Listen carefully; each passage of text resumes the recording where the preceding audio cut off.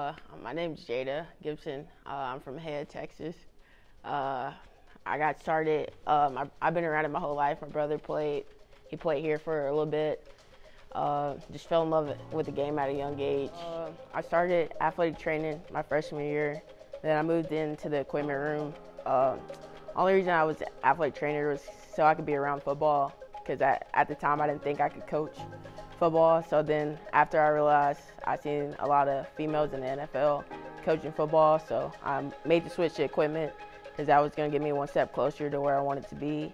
Did that for a year, um, and then I met Coach uh, Archie McDaniel, who was our former linebacker coach here, and um, asked him if I could coach with him, and he, he allowed it. Uh, so I'm here. Uh, yeah, I work with the inside linebackers. Uh, best best position group. I feel like uh, got some solid players in there. What I do is like I assist our defensive coordinator like throughout the game, writing down like some tendencies that the offense do, like their formation, their backfield set, what we call, what play they do to help us get to the sideline and just uh, walk through with the players. And um, our linebacker coach is in the box and I'm on the field, so like if I see anything, I uh, communicate with him about it, or if we need to talk to the players, uh, we start our meeting. We just five here get everything ready to go. We start our defensive staff meeting at six. Um, we got RTT at seven, which that's when the players report. Uh, team meeting at 7:15, and then we go to special teams. After special teams, we have our uh, position meeting, or like 30, 45 minutes. Then we go out to practice. Practice about two hours. Uh, after that, shower, go up, watch the tape of practice. And then after that, game planning and meeting. Uh, I wanted long-term coach college football, but I might stop in the NFL for a few years to do that and come back down to college.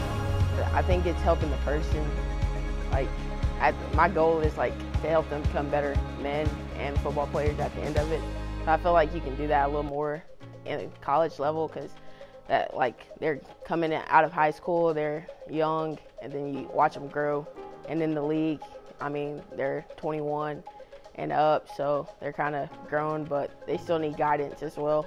I guess I'm a defensive coach, so if I have to say defensive scheme wise, it would be Bill Belichick, greatest of all time. Uh, and what he does now and how he uh, goes out every week and exploits the offense.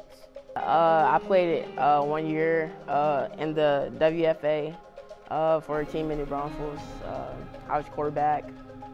Slight experience, but pretty good.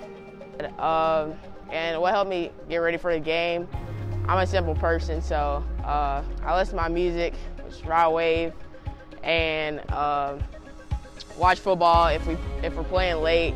Watch the earlier games. Um, I'm a big Oklahoma fan, so they usually play early, so watch that. But other than that, that's about it.